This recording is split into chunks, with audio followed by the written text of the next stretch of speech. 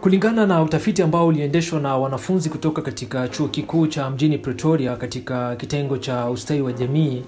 e, utafiti wao ulifahamisha kwamba e, asilimia 76 za wanawake ambao waliolewa wakiwa bikra ndio ambao waliweza kutunza ndoa zao. Takwimu ambazo waliwasilisha zilifahamisha kwamba wanawake ambao waliweza kutunza ndoa zao ni wanawake ambao waliolewa wakiwa ni bikra, kulingana na utafiti huo ulioendeshwa na wanafunzi hao na utafiti huo uliendeshwa kulingana na takwimu ambazo zilikusanywa eh, kati ya mwaka 1985 hadi mwaka 1999 na utafiti huo ulifanyika baada ya ushirikiano kati ya chuo kikuu eh, uongozi wa chuo kikuu hicho na kitengo hicho ambacho kinahusika na sayansi ya jamii na idara husika. Na hapa tukizungumzia idara husika tunamaanisha mahakama na mahakama za jadi. Na mahakama hizo mbili kuna ile ambayo ni ya kitamaduni hii ambayo ni ya jadi na ile ambayo huwa inachukuliwa kitaifa. Ni katika kitengo ambacho kinahusika na kupokea malalamiko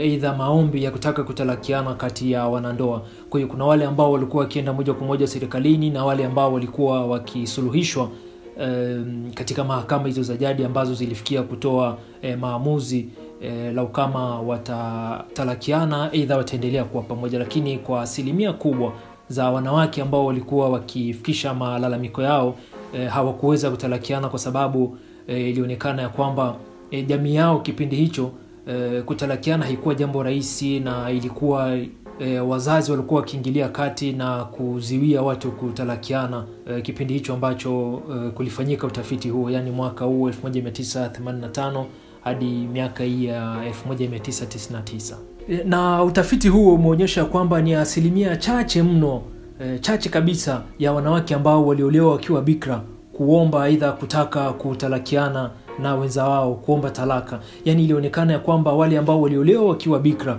hawakuweza kuomba talaka kiurahisi ni asilimia chache mno e, katika jamii kulingana na utafiti huu ambao uliofanyika. Na suala la ubikra katika jamii tofauti ni jambo ambalo limetiliwa maanani mno kwa mwanamke ambaye anataraji kuolewa. Na vile vile ni jambo la kawaida kwa wazazi kulinda ubikra wa mabinti zao aidha watoto wao wa kike. Ni jambo la kawaida kabisa kwa sababu e, pindi mtoto anapoolewa e, msichana anapoolewa na anapokutwa kuwa ni bikra basi huwa ni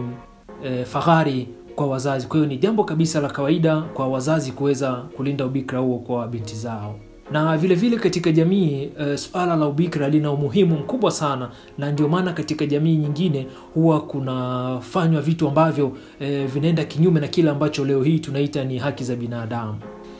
Na kama tunavyofahamu e, kuna jamii nyingine ambazo mwanamke hawezi kuolewa pindi atakuwa si bikra. E, na ndio wale ambao hujipata katika hali ya kuishi katika maisha ya upweke na wanaume huwasusia na katika jamii e, wanawake kama hao huwa wakitengwa. Na iwapo msichana ataweza kujificha usitambue ya kwamba tayari e, hana ubikra na pindi ambapo atakapoweza kuolewa kufunga ndoa basi siku ile ambayo e, atakayokutana na mme wake na kugundulika ya kwamba si bikra basi mwanamke huyo moja kwa moja ndoa hiyo huvunjika na huwa ni fedheha kabisa kwa familia yake. E, na jamii ambazo tunaweza tukazungumzia ni jamii tofauti ambazo zinapatikana mashariki ya kati na barani afrika tunaweza tukazungumzia e, utamaduni ambao umedumu kwa kiasi kikubwa e, katika mataifa ya kiarabu e, kwa mfano moroko na mataifa mengine. E, na huwa pia ikifuatiwa na maafa kwa maana kaka wa dada ambaye ameolewa na ambaye amegundulika ya kwamba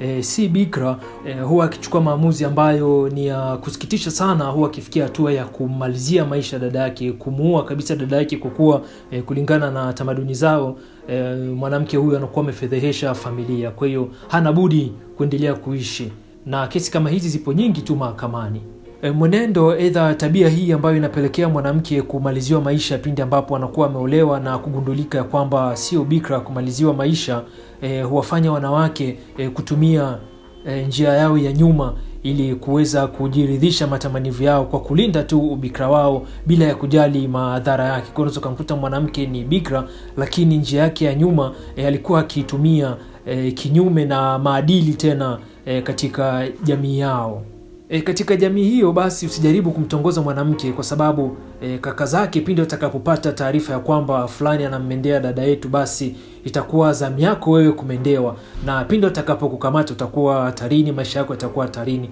na kuna wengine hufikia hadi kuuawa e, kwa sababu walionekana ya kwamba wanatoka kimapenzi na dada zao na kutaka kama vile kuwaharibia fucha yao, kwa sababu kwao e, mtu ambaye mwanamke ambaye tayari kapoteza ubikra wake e, anakuwa hana maisha. Yani kupoteza maisha ni sawasawa na kulosti katika maisha, kama vile hauna maisha kabisa. Na katika jamii yetu Afrika Mashariki, mwanamke kuolewa e, akiwa ni bikra ilikuwa ni sherehe miongoni mwa sherehe, na mama wa mwali, mwanamke ambaye ameolewa na kukutwa ni bikra, alikuwa akimwagiwa zawadi kemkem kem kutoka huku na kule na kupongezwa na kuonekana ya kwamba e, familia ya mzee fulani, eidha mama fulani ndiye mama bora mtaani, eidha katika jamii hiyo, kwa malezi bora alikuwa e, akiwalea watoto wake vizuri kuanzia umri ambao wamevunja ungo hadi kufikia umri wa kuweza ku, kuolewa e, miaka umri wa miaka labda 18 idha au labda ishirini kipindi hicho. Kwa hiyo mama huyo ndio ambaye alikuwa akionekana ya kwamba e, yeye ndio alikuwa na malezi mazuri katika jamii. Kiata Online, hadi hapo ndio tunafikia mwisho wa kile ambacho tumeweza kukuandalia kwa siku ya leo, lakini tutakuachia swali e, ya kwamba kuoa aidha kuolewa uh, ukiwa bikra aidha kumoa bikra e, ndio kutafanya ndoa yenu iweze kudumu?